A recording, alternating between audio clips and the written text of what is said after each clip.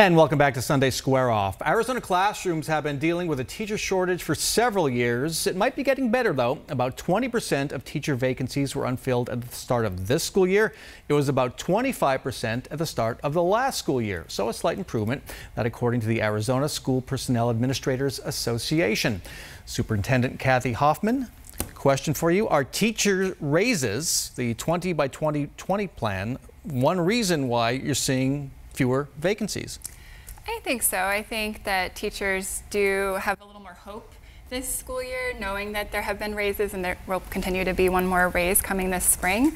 However, I want to be very clear that 20% is unacceptable. 20% of positions to be vacant is completely unacceptable, and that has a very direct impact on the on the effective effectiveness and quality of instruction that students are receiving. So I'm kind of puzzled by the numbers because there's that vacancies in classrooms. At the same time, the same group says almost 9 out of 10 teachers are returning to their job every year. So retention seems to be high. What am I missing in those numbers that appear to conflict? Um, that's a good question. I, I think that in previous years, since we had the numbers were last year was 25% were vacant. Um, so I'm, I'm, not exactly sure how they did their calculations. Yeah. I didn't work with them on that. It's possible that they're including people who are long-term substitutes or emergency certified in that calculation, but I'm not exactly sure. So this is also a nationwide problem. We like to think we're special in Arizona, but we're not. Uh, it's, it's, across the country. There is a demand for teachers that, that's not being met, and that will go on well into the 2020s, uh, projection show. So is it just a pay problem? Or are there other things that can be done to make this job more attractive? It is a complex issue, so pay is one piece, benefits. Uh, when we have young teachers, they are looking for jobs that offer childcare if they have if they have young children. They um, they're they're looking at the big picture, and more and more people our young people do not stay in these careers for as long as people once did. So I do think we need to look at the problem holistically. However, um, I just want to make sure to say too that our department is taking this very seriously. So while, while it might be a nationwide issue, our department is creating a whole new small team of people, creating new positions that are that will be entirely focused on educator recruitment and retention. Uh, Bob Robb thinks you're the person for the job. The Arizona Republic columnist thinks you're a technocrat who can handle this. So what kind of ideas are out there aside from pay?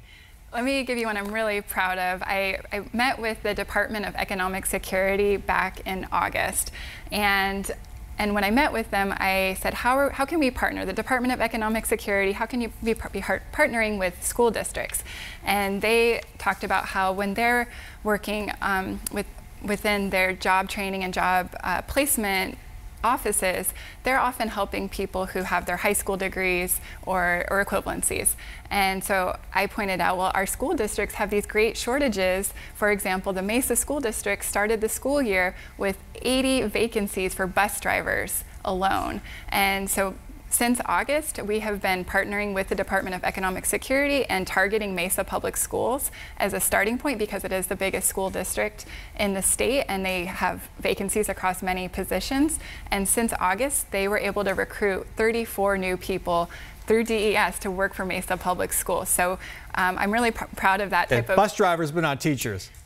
It was not just bus uh, drivers; it was it was classified staff. So so paraprofessionals, teacher aides, and those by filling those positions, it helps get people into the field, into pathways that can then become teachers. Okay. Let's bring it back to money. Ended on this. So the 20 by 2020 plan ends next year. Teachers get their final raise next year. Should the governor and legislature come up with a plan in the next session starting in January to renew that, to make this permanent? What do you want to see, or do you want to see a ballot initiative? I definitely want to see it keep going. And so I've been thinking about this a little bit and thinking maybe we need to go next to 25 by 2025. Sound has a nice ring to it. And I think it should include not just our classroom homeroom teachers, but across all of our support staff positions because they were previously excluded.